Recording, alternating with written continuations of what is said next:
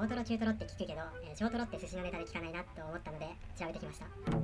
投稿主そんなことも知らないのって思われる方いると思うんですが、えー、僕も万能ではありませんし、えー、この動画を作ることを通して、え皆さんと学びを、え深めていけたらなって思っています。最近ダークストーリーあんまり上げてないんじゃないかって話なんですが、え生産性もないしあんまり作る気力が起こらないんですよね。この間同じ大学の女子と、えガールズバーで飲んできたんですが、えどんな可愛い子が来るかと思ったら、えめちゃくちゃ態度のでかいクソブスが来てちょっと泣いてしまってあんまり思い出したくないんですよね。んまり女性のことをブスだとか、えー、そういった言葉は使いたくないんですが、えー、あんまりにひどかったので、ちょっとクソブスと言わせてもらいます。ポケモンで例えるなら小型のカワルドみたいなやつが来ました。愚痴しか言わないし、なんか話振ってあげてるのになんかそれ興味ないですとか言ってきて、ほんと開始5分で投げそうになりました。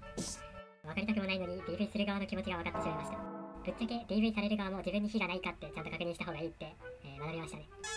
だからって暴力はいけませんし、えー、僕口ではこう言ってますが、え、決して暴力振るつもりはないですし、えそのままうまく、え流して、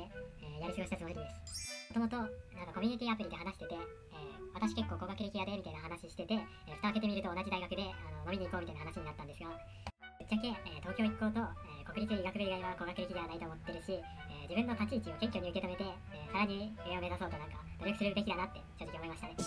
うわけで、え僕がインで東京一行にロンダリングすることによって、え二度とそんな減らず口を叩かせないようにします。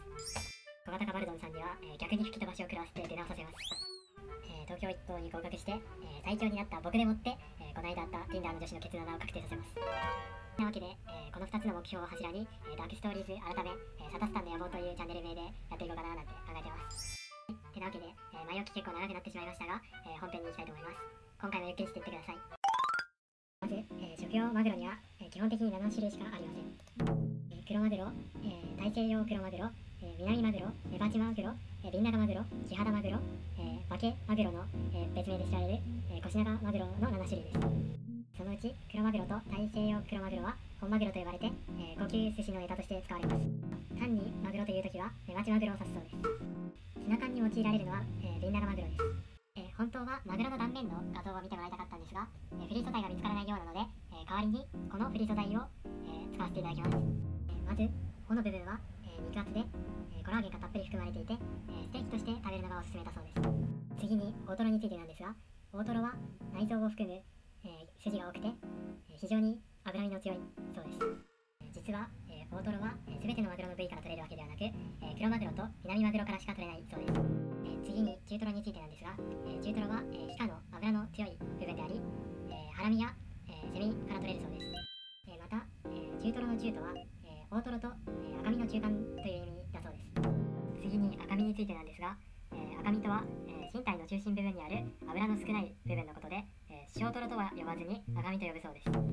えこのフリー素材には、え載っていないのですが、え血合いと呼ばれるミオグロビンなどの、え赤い色素タンパク質を大量に含む部位が存在するそうですが、え寿司のネタとしては用いられないそうです、え以上で解説を終わるつもりだったんですが、えフリー素材にカマトロなどが載っているので、えそれについても解説しようと思います。カマトロは、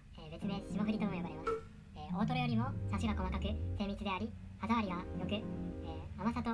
油のバランスが良いそうです。カマとは、えー、名前の通り草刈り釜に形が似ているところから来ているそうです、えー、油の乗りが一番良く、えー、とろりとしていてマグロ好きにはたまらないそうです、えー、最後に頬肉についてなんですが、えー、頬肉は 100kg のマグロからわずかに 300g ほどしか取れないそうで、えー、スーパーなどで手に入るような、え、部位ではないそうです。濃厚で美味で、え、塩焼きやバター焼きが好まれるそうです。